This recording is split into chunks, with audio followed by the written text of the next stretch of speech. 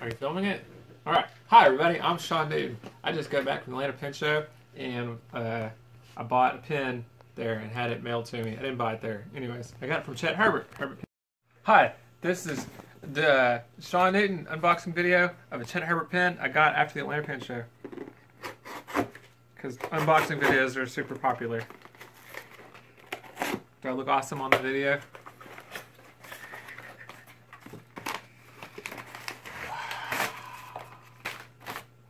Okay.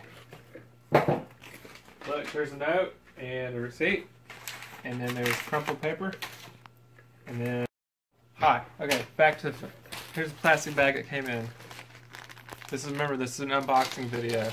Because unboxing videos are the best. I'm going to be famous. Famous after this, okay?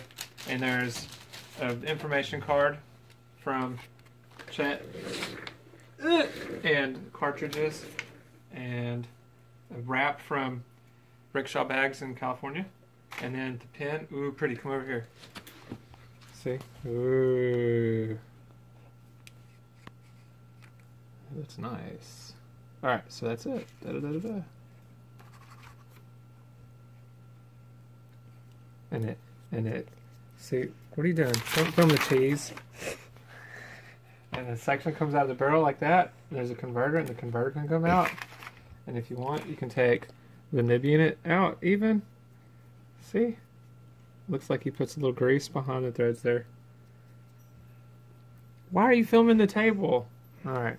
My kid is not very good at this unboxing video stuff. This will be the best unboxing video in the world. Alright, so. Thanks, Chet. Alright.